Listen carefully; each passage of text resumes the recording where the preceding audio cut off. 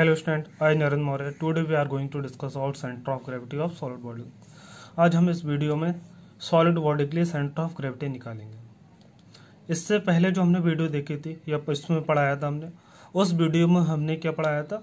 Centre of gravity of lamina मतलब किसी भी एक टू डायग्राम जैसे हो गया त्रिभुज हो गया आयताकार आयताकार आकृति हो गई या फिर और जो टू डायग्राम है, उन्हीं का हमने क्या निकाला था अभी तक? सेंटर ऑफ़ ग्रेविटी निकाला था। किसी भी आकृति का हमने अभी तक निकाला था सेंटर ऑफ़ ग्रेविटी वहाँ पर हमने क्षेत्रफल के आधार पर निकाला था इसलिए, क्योंकि किसी भी आकृति के लिए हम आयतन को ज्ञात नहीं कर सकते। इसलिए किसी भी आकृति का हम जो सेंटर ऑफ़ ग्रेविटी निकालेंगे तो वह क्षेत्रफल के आधार पर ही निकालेंगे। तो अभी तक हमने जो सेंटर ऑफ़ ग्रेविटी निकाला था, वो किसी आकृति या लेमिना के लिए निकाला था टू डायग्राम के लिए। अब हम सेंटर ऑफ़ ग्रेविटी निकालेंगे सॉलिड बॉडी के लिए, ठीक है? सॉलिड बॉडी के लिए हम सेंटर ऑफ़ ग्रेविटी निकालेंगे इस लेक्चर में। Centre of gravity of solid body. Solid body का मतलब होता है ऐसी बॉडी जिसका आयतन भी होगा और वो वस्तु कैसे होगी? थ्री होगी। जैसे कोन, शंकु, बेलन, गोला, अर्धगोला। तो शंकु, बेलन, गोला और अर्धगोला, ये सब क्या है? सॉलिड बॉडी है। थ्री वस्तु है। इन सब का हमें क्या निकालना है? इन सब का हमें निकालना है सेंटर ऑफ़ ग्रेविटी। ठीक है? और ये कौन सी बॉडी है? सॉलिड। तो इस टॉपिक को हम कहेंगे centre of gravity of solid body तो हमें पता है डेंसिटी इक्वल टू क्या होता है? मास पर यूनिट वॉल्यूम अगर हम मास की बात करें तो मास इक्वल टू क्या हो जाए और रो इंटू वी ठीक है? द्रव्यमान इक्वल टू क्या होगा? घनत्व इंटू आयतन. अब हमें किसी वस्तु का क्या निकालना है? सेंटर ऑफ़ ग्रेविटी अब किसी ऐसी वस्तु का निकालना है जो सॉलिड हो तो उसका कुछ ना कुछ मास भी होगा। तो मास के आधार पे भी आप निकाल सकते हैं और आयतन के आधार पे निकाल सकते हैं, एक ही बात है। क्यों? क्योंकि हमें पता है डेंसिटी क्यों होगा यहाँ पर? डेंसिटी तो सेम रहेगा। डेंसिटी जो होगा, घनत्व जो होगा, पूरी वस्तु के लिए सेम होगा। घनत्व क्यों होगा? जो भी आकृति होगी उस पूरी के लिए क्या होगा? सेम होगा। जब डेंसिटी हमारा सेम होगा तो क्या कह सकते हम? इसे कांस्टेंट तो मास के आधार पर निकाल लो, चाहे आयतन के आधार पर निकाल लो। तो सॉलिड बॉडी के लिए हम सेंटर ऑफ़ ग्रेविटी मास के आधार पर निकाल सकते हैं और आयतन के आधार पर निकाल सकते हैं। तो आयतन के आधार पर निकालने क्यों ईजी पड़ जाता है। तो स्टार्ट करते हैं। तो इस लेक्चर में हम सेंटर ऑफ़ ग्रेविटी ज्ञात करेंगे विलन के लिए। ठीक है? Determine centre of gravity of solid body of cylinder ठीक है? बेलन के लिए गुरुत्व केंद्र की स्थिति ज्ञात करेंगे। तो वेलन के यहाँ पे एक सॉलिड बॉडी है। जैसे कि आप डायग्राम में देख रहे हैं, ये क्या है एक बेलन है? इस बेलन की हमने रेडियस ले ली आर और इसकी हाइट ले ली टोटल जो ऊंचाई है, इसकी एच है। अब इससे हमने रेफरेंस एक्सेस डोनोट कर दें इसके। तो रेफरेंस एक्सेस की होगा? सबसे बॉटम में इससे हमने मिड से एक्सेस डोनोट कर दी। ये एक्स हो गई। ठीक है? इसी तरह से अगर बाइक्स ड्रॉ करनी है तो बाइक्स हम लेफ़्ट साइड से करते थे। लेकिन, जितने भी यहाँ पर आप न्यूमेरिकल्स करेंगे, यहाँ पर हम बाई एक्स को मिड से डोनोट करेंगे। मिड से डोनोट करने का मतलब क्या है वो बताता हूँ। क्योंकि यहाँ पर जो इतनी भी आकृति होंगी, जितने का भी हम न्यूमेरिकल सॉल्व करेंगे या डेरिवेशन सॉल्व करेंगे, वो सब सम्मित होती हैं। तो वो सारी आकृति की होंगी? सम्मित होंगी। तो जब वो सारी आकृति की होंगी, सम्मित होती हैं तो सम्मित का मतलब क्या है? हम सिमेट्रिक एक्सेस से ही रेस्पेक्ट में निकाल लेंगे। तो यहाँ पर हम क्या करेंगे? एक्स एक्स तो हमारी हमेशा बॉटम में रहेगी। बाई एक्स कहाँ रहेगी? अगर हम बीस से काट दें इसे तो लेफ़्ट और राइट का क्या रहता है आपका? बराबर रहता है पोर्शन अगर मिड से काट दोगे मिड से काटने पर क्या होगा? मिड से काटने पर लेफ़्ट का और राइट का दोनों तरफ़ पोर्शन क्या होगा? बराबर होगा। जब दोनों तरफ़ पोर्शन बराबर होगा तो बाई एक्स में सम्मित होगा। जब बाई एक्स में सम्मित होगा तो हमें पता है एक्स बार क्या होता है? एक्स बार क्या होगा? टोटल दूरी का आधा होगा। मतलब टोटल कितनी होगी? आर ये और आर ये। मतलब टू आर होगी टोटल तो टू आर का आधा कितना? आर तो हम कह सकते हैं, इसका अगर बाई अक्ष पर सम्मित है तो एक्स बार कितना होता है? टोटल एक्स अक्ष का आधा। मतलब टोटल एक्स अक्ष होगा टू आर का आधा आर ठीक है? एक्स बार होगा आर अब आपको बाई बार निकालना है। ठीक है? तो बाई बार आप कैसे निकालेंगे? वो देखते हैं। आपने रेफरेंस एक्सेस एक नोट कर ली एक्स अक्ष, और ये हमेशा इसकी रेफरेंस एक्सेस बाई एक्स इसमें मिड से डोनोट करोगे आप। अगर सिमेट्रिक है तब, और सिमेट्रिक ही है सारी बॉडी उसमें ठीक है? तो मिड से डोनोट करेंगे हम बाई एक्स ठीक है? अब यहाँ पर हम बात करें तो जब बाई एक्स पड़ता सिमेट्रिक है तो इसी लाइन में कहीं ना कहीं पर एक्स बार काम कर रहेगा वो तो हमें पता ही है। तो एक्स बार का मान तो निकाल लोगे आप इजीली क्या होगा? टोटल एक्स की भुजा का आता लेकिन बाई बार कैसे निकालोगे? तो बाई बार के लिए हमने एक फॉर्मूला ड्राइव करा है। उस फॉर्मूले से निकालेंगे। उस फॉर्मूले की सहायता से एक मान निकालेंगे, ठीक है? तो देखो बाई बार कैसे निकालेंगे? अब हमने क्या करा? इस पूरी आकृति का बाई बार का मान पता करने के लिए इसमें एक छोटी सी स्ट्रिप कट कर ली है। जो स्ट्रिप कट करी है हमने, जो डिस्क कट करी है, उसकी हमने मोटाई मान ली डी वाई ठीक है? और वो एक्स अक्ष से कितनी दूरी पर मानी हमने? बाई बाई दूरी पर। एक्स अक्ष से ऊपर की तरफ़ बाई दूरी चलने पर डी वाई मोटाई एक डिस्क कट कर ली हमने, और जिसकी रेडियस जो होगी, वो इसके बराबर ही होगी। बराबर ये रेडियस ठीक है? क्योंकि ये भी बेलनाकार आकृति, ये भी बेलनाकृति और सेम रेडियस है इसकी तो ये भी आर हो गया।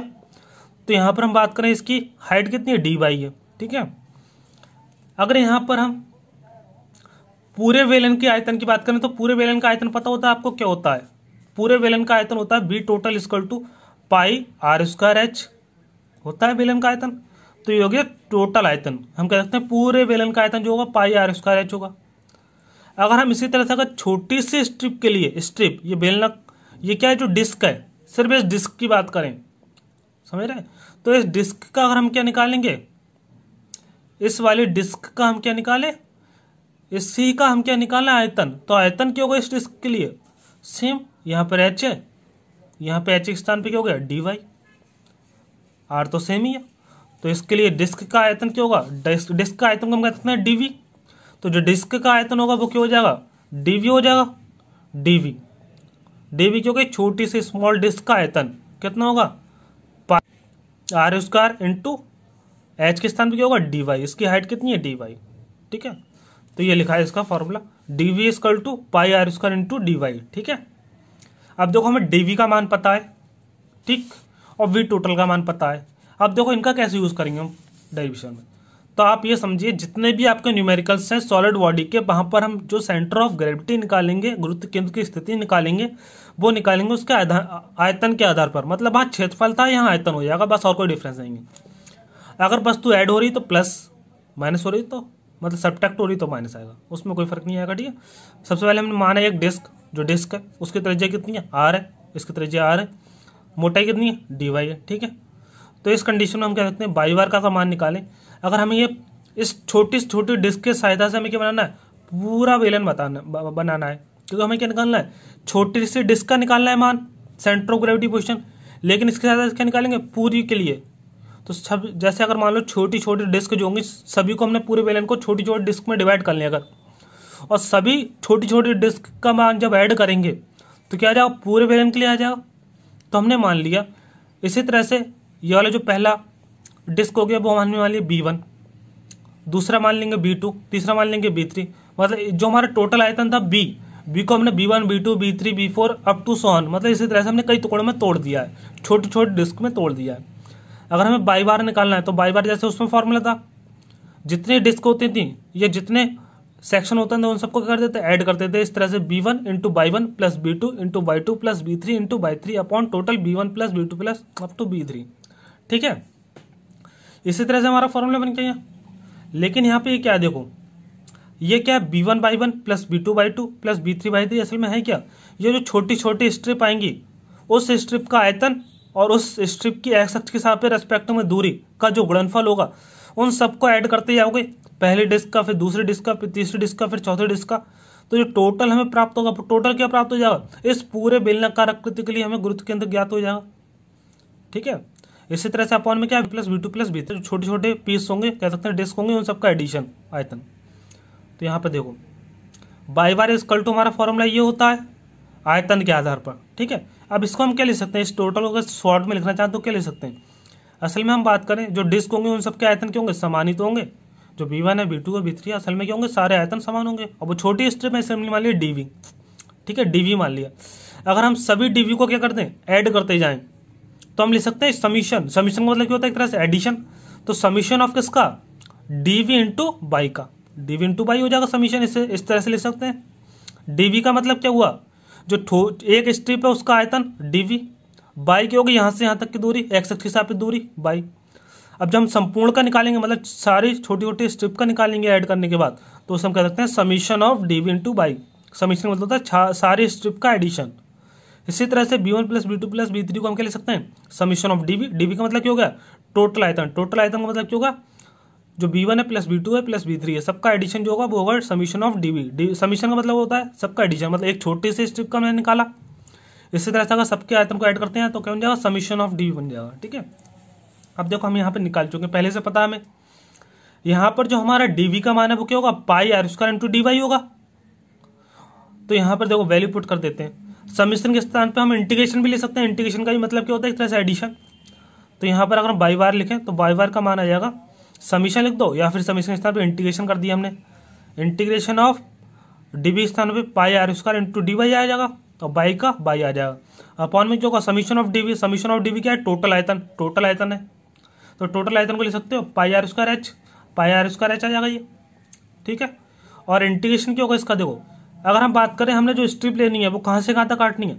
हम यहाँ से काटना स्टार्ट करेंगे। कह सकते हैं हमारा जो एच होगा, एक मान लो सबसे नीचे हमने एक स्ट्रिप काट ली तो उसकी ऊंचाई कितनी होगी? ज़ीरो और सबसे सबसे ऊपर एक स्ट्रिप काटी, उसकी सबसे मैक्सिमम हाइट कितनी होगी? कैपिटल एच यहाँ से यहाँ तक की दूरी कितनी होगी?